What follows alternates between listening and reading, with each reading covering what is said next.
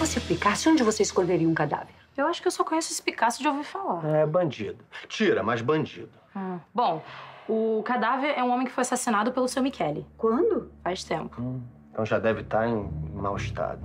Fosse mais novo, uma geladeira grande. É, esquece a geladeira. Se fosse eu, enterrava no quintal. Que quintal? Ele mora aqui no hotel. Quintal de alguém. Pelo que Estela te paga, a gente esperava mais. O melhor lugar pra esconder um cadáver é no cemitério. A Estela não tá pensando. Pior que eu acho que sim. A gente só precisa descobrir aonde o Picasso enterrou a mãe dele. Não seria o lugar lógico? Silvinha, Silvinha. Silvinha, minha esperança é que o Gui estivesse com você. Pois é, eu tava indo procurar. Ele não apareceu pra aula particular.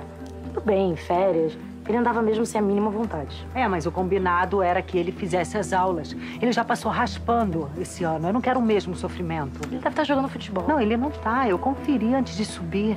Ai, meu Deus, só falta... Foi. Ele me viu brigando com o avô dele. Aquele homem desgraçado não se interessa pelo neto durante 10 anos.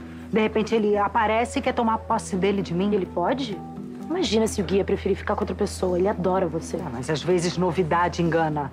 Ainda mais ele que foi criado sem o pai. Vamos! Vai você aí! Não sei mais aonde procurar. A minha esperança é que ele voltasse para dormir. Já tem um monte de gente batendo o morro procurando. Todo mundo gosta de você. Esses anos todos eu quis ser pai e mãe do Gui ao mesmo tempo, mas, mas não deu, né? Em tão pouco tempo ele já grudou nesse avô.